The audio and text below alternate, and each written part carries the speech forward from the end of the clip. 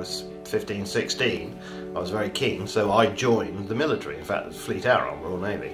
And I shot for all my service career. Got my Queen's Medal, shot for Great Britain, etc., etc. So yeah, people do join so they can shoot. The reason why I joined the cadets was because I could get full shooting all the time. And that for me was quite a big thing.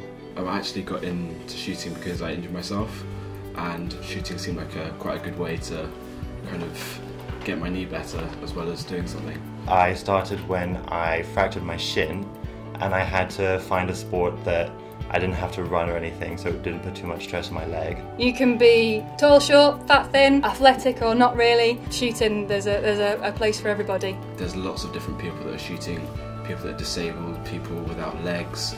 I'm not sure I've seen anyone without an arm, but there's definitely people with disabilities and it's open to everyone to shoot. It's uh, a matter of concentration, breathing, exercise. Every aspect of living really comes into being able to shoot well.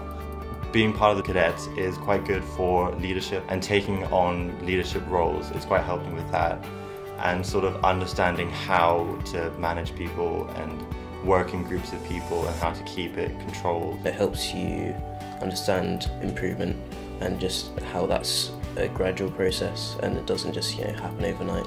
I think it's all excitement to start with. It's like, oh, this is something I've never done before, and that's what we feed on. We, it's a new thing. They've all played hockey, or they've played rugby, or football, or tennis, or swimming. They've all done those sports, but they won't have shot a rifle normally. And then we train them up, and then they suddenly start winning a few things. They win, you know, because they're juniors, they can win a medal or a small trophy or something, and that to them is massive. They'll go home to mummy and daddy saying, I've got a medal. Whereas they never won anything in hockey or cricket or rugby before. So to suddenly win a medal at shooting is a big thing. Um, support help choosing universities would probably be really useful. Um, pros and the cons. British shooting, also talking to the universities, saying this is actually what our shooters need. Access to rifle ranges, access to ammunition, being able to keep their rifles there or shotguns, um, whatever it may be. And really actually talking to universities about what the shooter needs to be able to progress onto the next level because you're going to need a job after you finish shooting, you're going to need a career. So university really is the only one of the ways to go and that's why I chose to go rather than quit all school and do just shooting. I knew I needed a job in the end. I was a cadet myself and I had no idea about any of the other kind of shooting outside of cadets when I was a cadet. So I was in uh, my own little bubble with, with my county shooting team. We, we shot county matches. But outside of that, I had no idea, no idea. So yeah, if, if cadets are given the opportunity, then they'd be grabbing it with both hands. I think something like the Olympics, it's in many ways something that people always look upon with such regard that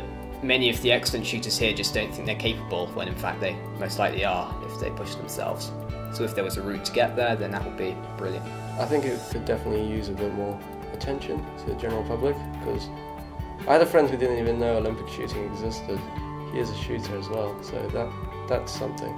I wouldn't really know what to do. I don't yeah, I don't know. I sort of, maybe at university, I would kind of find out if there was a university shooting team or something, but I don't, yeah, I don't really know what's out there. I want to carry on shooting definitely, um, and it's something which I'm interested in as like a competitive sport, but I'm not really sure how to carry on.